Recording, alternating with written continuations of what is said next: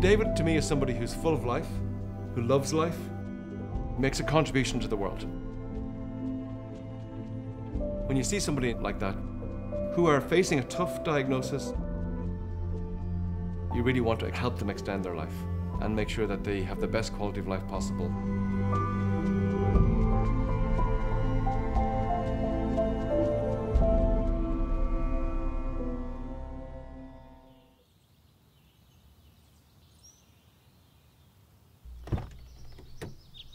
My diagnosis came about very peculiarly. I took a pain in my back, and after two days, I decided it was time to go and see my local GP.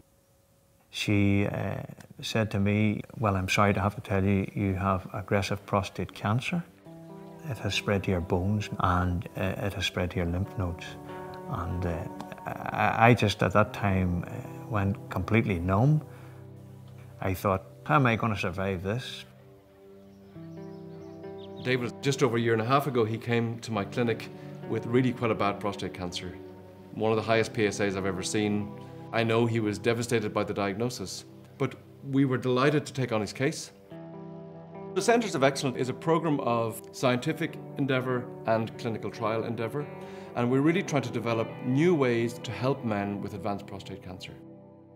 We approached David about the idea of this clinical trial, and it's called ADRRAD, and it's a trial for men with prostate cancer which is already spread at the time of diagnosis. After they finish their chemotherapy, they then move on to try two types of ionizing radiation at the same time. Radiation to the prostate gland and pelvis using uh, high-tech external radiotherapy, and then using a drug called radium-223, which is an injected form of radiation. It's a bone-seeking missile. The combination of those two types of radiation in men with advanced prostate cancer is something we've been testing here for the last two years. If I hadn't joined the program, there's no way in this wide world uh, I would be sitting talking to you today. The bone cancer that has gone from my spine, more or less, that really blows my mind away. It's been a great pleasure to watch him go through that trial and actually respond very well and get back to a pretty normal life.